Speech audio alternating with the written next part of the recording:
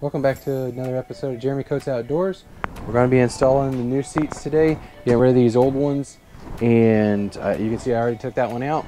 Uh, this one uh, is actually the one from over there, but I put it back in to show you.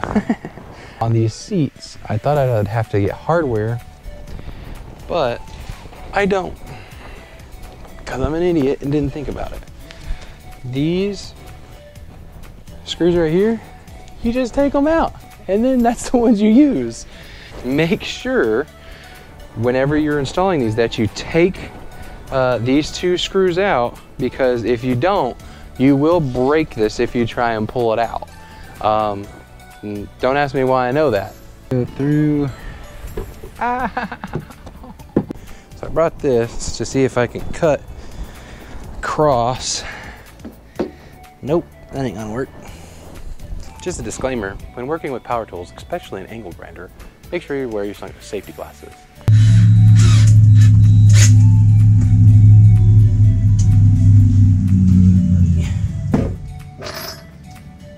Okay.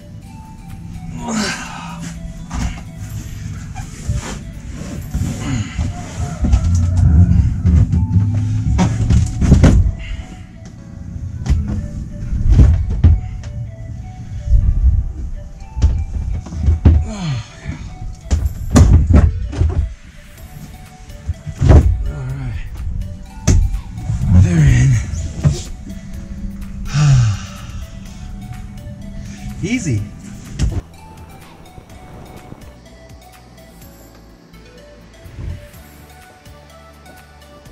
As you can see, we got the new seats installed with the new center console. It looks pretty good, if I do say so myself.